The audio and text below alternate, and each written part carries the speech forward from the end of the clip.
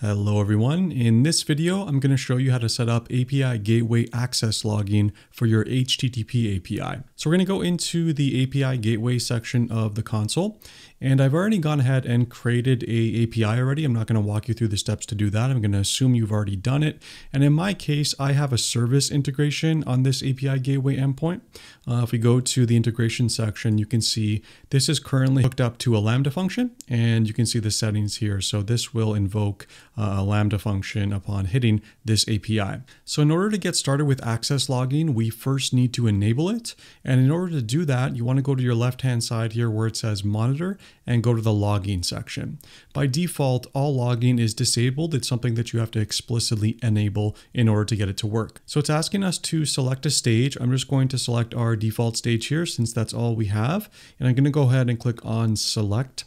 And at this point, it says that our access logging is disabled. So we do need to change that. And the way we do that is we go to the edit section over here. And then we need to click on this little toggle box here to enable access logging. Now it's asking us uh, what is the log destination or where do we want to send our logs to?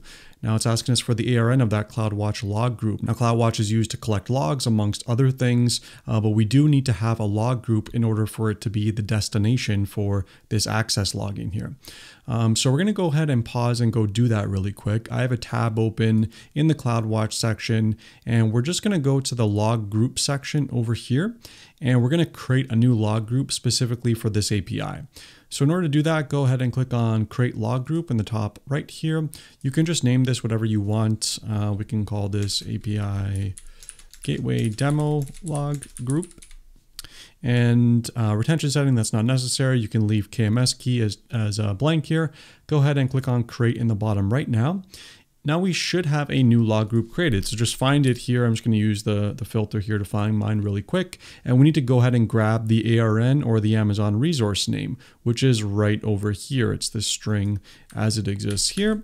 So we're just going to copy that to our clipboard. We're going to go back to our API gateway uh, section or API gateway tab, and we're just going to paste in our log destination now. Uh, now it's asking us for our log format. So you have four different options here. You have CLF, JSON, XML, or CSV, you're probably going to be using either JSON or CSV here. Now there's a whole bunch of different things that you can log as part of access logging. And if we click on this URL here, it gives us some really great documentation. Now this documentation tells you all about the different options that are available to you in terms of what you would like to log. Uh, so you can get stuff like account ID, the API, stuff on the authorizer. If you're using this in conjunction with something like Cognito or some kind of custom authorizer, you can get those details in the access logs as as well. Uh, and if you scroll down here, there's a whole bunch of other ones, domain name, errors, um, there's other stuff for identity. That's not going to be really useful in our case. I wanted to find one uh, which is going to be useful for our Lambda function here, and that is this one here, context integration request ID. Now what this is going to do when it's integrated with Lambda functions is that it's going to show us the request ID of the Lambda function in the log line under our access logs. So we can match the log line of the access logs and the log line of our Lambda function. So I'm just going to copy this one to my clipboard. Uh, you can check out a bunch of these. I'm going to show you a couple in this demonstration, but you can add a whole bunch if you'd wish. Um, so let's go back to API Gateway. Now, a cool thing is that if you just click on any of these, it gives you kind of a base uh, to work with here. And these are some very common ones, things like request time, method, routes, protocol, if it's post get, whatever, response length, request ID. Also has source IP in here. Um, normally I'd leave this on, but for this case, I don't want to have to edit it out uh, to hide my IP. Uh, so I'm just going to delete this really quick. And I also want to put in that context um, integration request ID so that we can pair this up with Lambda function invocation request IDs as well. Uh, now, I would suggest you to not use CSV unless you have a reason to do so. And that's because the log lines that you get by default, they don't have the like the field name that you're logging. So it's just going to have a number here, for example, for request time. It's not going to tell you this line is with reference to request time. If you do it with JSON, you get all the keys of all the different um, fields that you're going to be having here. So for example, request ID comes and then here's the value. IP comes and then here's the value. Um, hope that made sense. And it looks like I actually, since I changed it to JSON, I need to strip out this again. And I'm to just put um, what was it? Integration request ID, integration request ID. Make sure everything is in quotes there. And we also need this. Okay. Um, so that's good. I'm to go ahead and click on save now. And so this has been set up correctly. Um, so what I'm going to do now is I'm just going to go and invoke this Lambda function from Postman. So we're going to be using Postman to test this out. So first I need to go and grab the URL of this endpoint. So we're going to go to stages and it's right here. So we're going to copy that to clipboard. And I think the route that I created was, yeah, slash foo. So I'm going to just go into Postman really quick and I'm just going to swap this out. This is something I was doing before. We're just going to call this slash foo.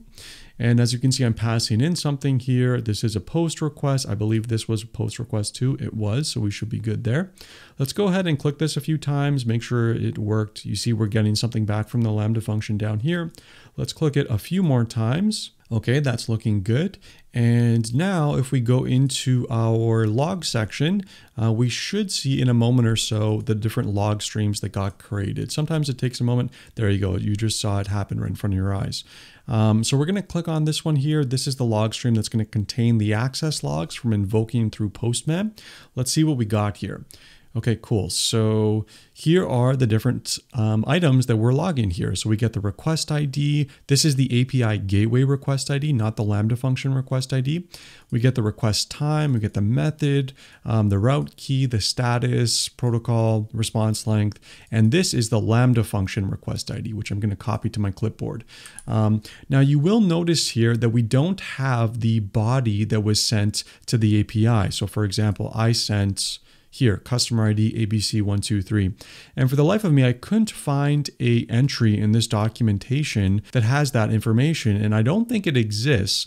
One way to check for sure would be to put all of these into your request logs or your access logs and see if that uh, see if it contains it somewhere. But I'm 90% sure that it doesn't exist. I read each one of these in detail and it wasn't showing up. Um, so the other thing that I wanted to show you, actually, let's go into CloudWatch, uh, the integration request ID because in this log line, we don't really have details of what our Lambda function did, right? All we really have is the response length. So what if now I want to pair this log entry with something that happened in my Lambda function logs? Well, there's a pretty easy way to do that. Since we're logging the integration request ID, this should be straightforward to find the corresponding Lambda function invocation.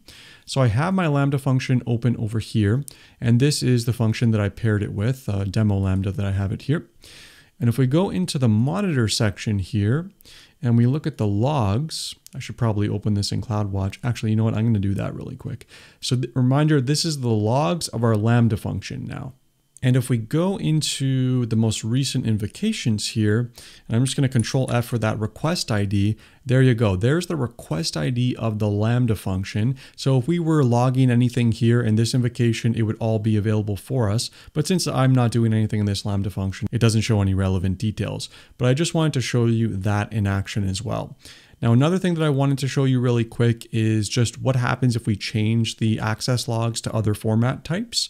So let's go back and go to logging and you can edit this stuff at any time, by the way, it's pretty um, flexible.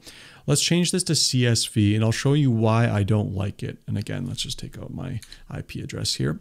Gonna go ahead and click on save. Okay, that's good. And let's go invoke our API again. So one, two, three. Okay, that's good. And back into CloudWatch now. These are the Lambda function logs, not what we're looking for. These are the ones that we're looking for, API Gateway Demo Log Group. And sometimes it does take a moment, like I said. So here's the most recent one. If you sort it by time, 1617, we're gonna click on this and here's what you get. So this is okay, it has all the information in front of you here, but it doesn't really tell you what each of the fields are that it's logging. So like, what does this correspond to? I know it's the path, but it would be nice if it told me the field. Like, what is this number 200? Probably 200, okay. What does 26 mean here? I don't know. Um, so that's the, the reason that I like to use JSON. You get all that data right in front of you so you can easily tell what's what. So that's it for this video. If you liked it, please don't forget to like and subscribe, and I'll see you next time.